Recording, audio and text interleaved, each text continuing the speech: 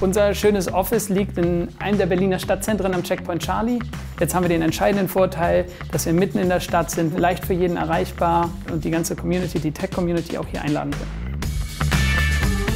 Because we're a consultancy, so everyone is usually traveling during the week, we all kind of come together in the Berlin office on Fridays.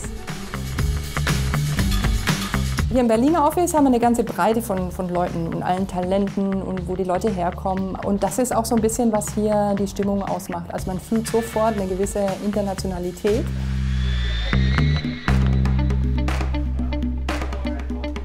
What we do at ThoughtWorks is build complex solutions for our clients, whether it's products or platforms.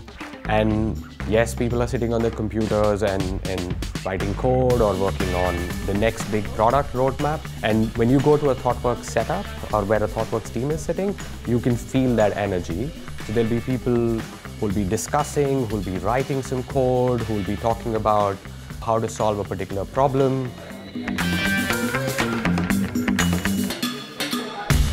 Bei der agilen Softwareentwicklung fängt eigentlich jeder Tag mit einem Stand-up an. Stand-up heißt, ich treffe mich morgens mit dem Team, wir haben eine Kanban-Wall, also wir haben so eine Art Board, da haben wir alle Aufgaben drauf, ähm, das stehen wir da alle, das dauert so ungefähr, ich würde sagen 20 Minuten. Dann gucken wir dann auf die Aufgaben drauf, was ist fertig, was muss noch gemacht werden, wer kann an was arbeiten, was ist in der Analyse und das ist eigentlich wie so eine, so eine Gewohnheit, das macht man jeden Morgen.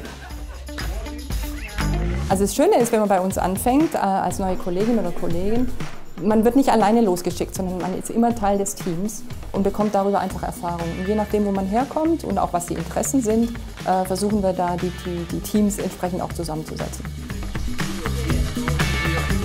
Wenn man sich überlegt, ob man bei ThoughtWorks anfangen will, ich glaube, ein guter Anfang ist, dass man technisch interessiert sein muss. Wir haben ganz viel mit Technologie zu tun und das ist es, was wir unseren Kunden an Mehrwert bringen. Wenn man dann interessiert ist an der Kultur, die wir hier haben, und das muss man unbedingt sein, dann ist es der absolut beste Arbeitsplatz. Es sind offene Leute, wir sind sehr divers, wir sind sehr inclusive.